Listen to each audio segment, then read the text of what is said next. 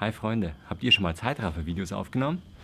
Ich habe jetzt hinter mir den Sonnenuntergang aufgenommen, einmal mit meinem iPhone und zeitgleich mit der Sony A7 III. Und mich interessiert einfach, welches Bild besser aussieht, beziehungsweise kann ein iPhone mit der A7 III mithalten. Schreibt unten in die Kommentare rein, welches Bild euch besser gefällt.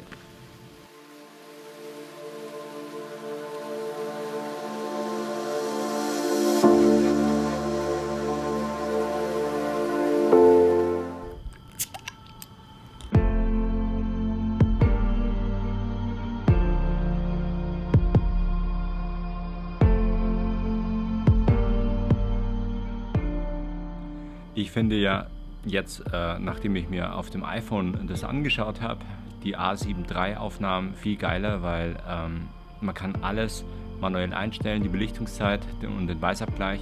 Das iPhone regelt alles automatisch und so sieht man ganz deutlich, finde ich zumindest auf dem iPhone, äh, dass das Bild immer wieder flackert, heller wird und dunkler wird.